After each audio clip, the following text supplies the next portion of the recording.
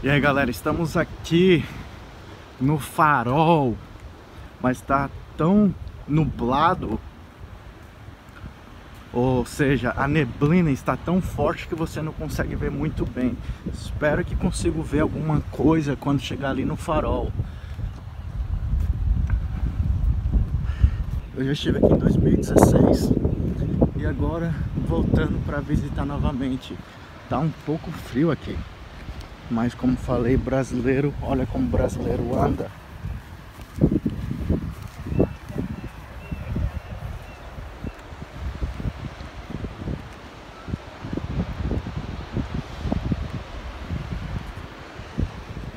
Muito interessante, vamos ver quando esse farol foi criado.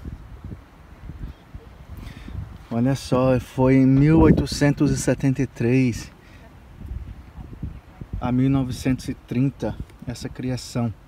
Então bem interessante.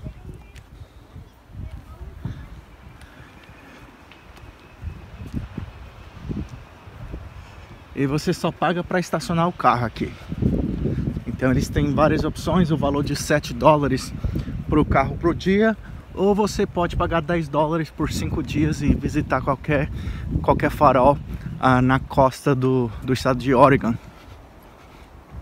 Então decidimos fazer o de 10 dólares porque nós ainda estamos em Oregon e vamos viajar bastante.